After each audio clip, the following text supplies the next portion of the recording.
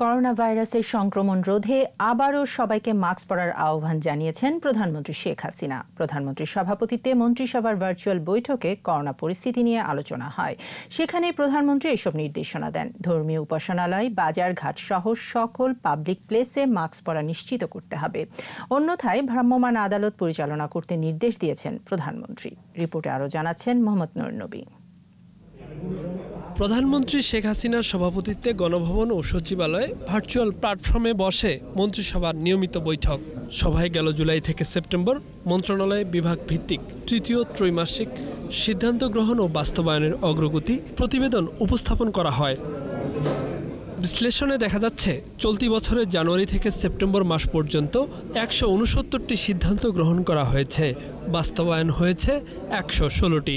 সিদ্ধান্ত বাস্তবায়নের হার আটষট্টি দশমিক ছয় চার ভাগ। করোনার কারণে গেল বছরের তুলনায় বাস্তবায়নের হার কম হলেও আশাব্যঞ্জক মনে করছে মন্ত্রিসভা।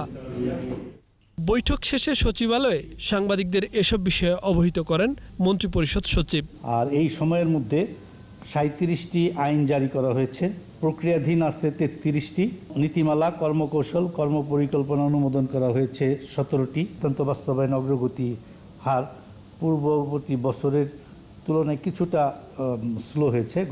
বৈঠকে বৈশ্বিক মহামারী করোনা পরিস্থিতি নিয়ে আলাপ হয়। ইউরোপ ও আমেরিকায় আবারও করোনা ভাইরাসের প্রাদুর্ভাব ব্যাপকভাবে দেখা যাচ্ছে। কিন্তু দেশে এখন মাস্ক পরায় ঢিলেঢালা ভাব ও নমনীয়তা মানুষের মাঝে। এসব বিবেচনায় সবাইকে মাস্ক পরা নিশ্চিত করতে বিশেষভাবে নজর দেওয়ার আহ্বান জানিয়েছেন প্রধানমন্ত্রী। কারণ বাকি কি হবে না হবে এটা তো কনসালটেন্ট বিষয়।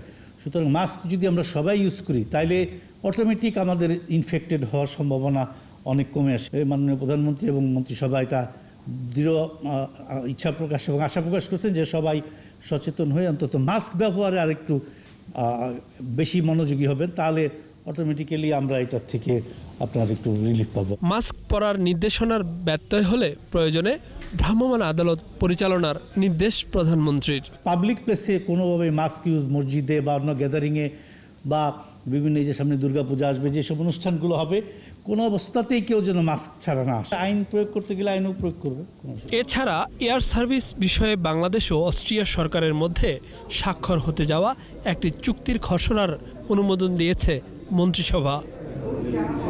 মোহাম্মদ নুরুন্নবী একুশে টেলিভিশন, ঢাকা।